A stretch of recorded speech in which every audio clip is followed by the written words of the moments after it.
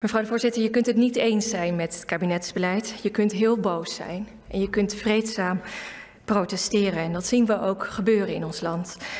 Maar wat we de afgelopen dagen hebben gezien, dat was pijnlijk. Dat was verdrietig om te zien dat er geweld werd gepleegd naar hulpverleners toe, naar politiemensen, dat ze bekogeld werden met vuurwerk.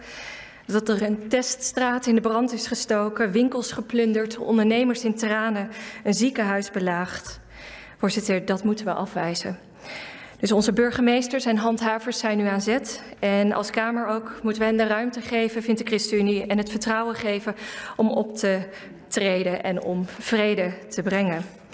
Voorzitter, het is goed dat het kabinet zegt, wordt werk gemaakt van snelrecht, die snelle veroordelingen, en dat ook de schade moet worden verhaald op de daders. En die, uh, dat steunen wij ook. Maar we weten dat dat in de praktijk lastiger is. We weten ook dat het mogelijk is om je te beroepen op groepsaansprakelijkheid. En ik roep ook het kabinet op om daar gebruik van te maken, die mogelijkheden in te zetten.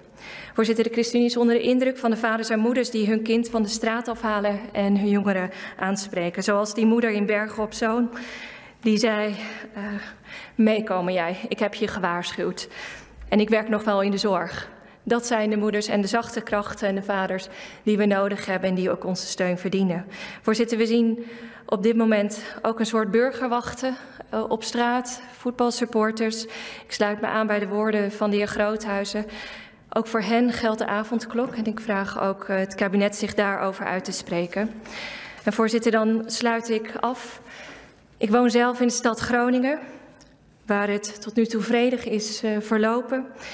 En afgelopen maandag was daar een mysterieuze sneeuwschrijver. Die toen wij prachtige sneeuw hadden op de grote markt schreef: Hou vol. En hij is gevonden en hij gaf aan: Ik besloot iets positiefs de wereld in te slingeren.